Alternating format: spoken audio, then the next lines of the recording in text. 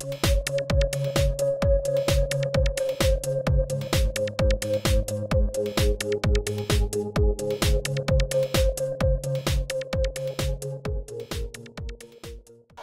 do you think about the uh, uh, rotating strikes that teachers announced?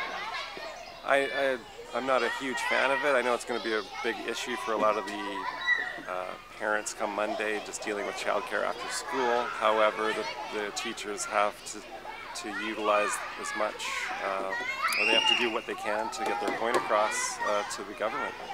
It doesn't uh, affect me hugely because I work part-time, so I'm home. So you won't have to worry Monday about who's going to look after her. No. So you're a former teacher. Uh, what's your opinion about the rotating strikes that the teachers have announced for next week? Um, well, I'm sorry that it has to come to that, and I know it's going to affect my daughter-in-law because she's already worried about about after-school care and school daycare.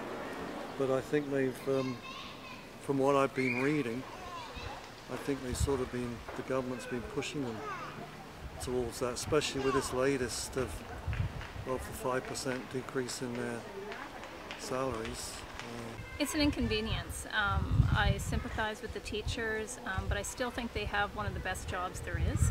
They get their summers off. Nowadays, there seems to be a PD day or some day off school every month because of budget cuts or whatever reason there is.